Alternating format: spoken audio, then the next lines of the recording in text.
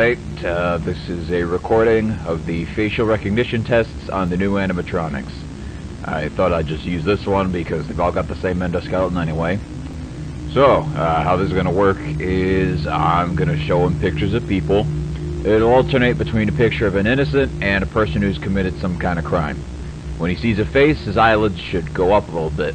When it's a criminal, he should uh, play a tone and open his mouth. Uh, hopefully if this goes well, we can start going into specifics. Alright, uh, first picture, innocent. Alright, good. Second, criminal. Good, very good. Alright, we'll do a few more. Innocent. Criminal.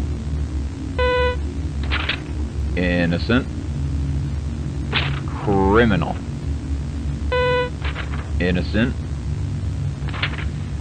What's this doing here? The hell?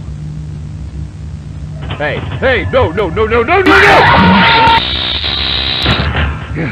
no!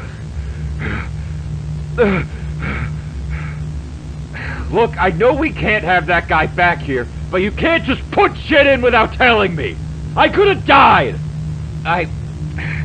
God damn it, you know what? How about you take your facial recognition and shove it? Because I'm not working in this death trap anymore, starting right now!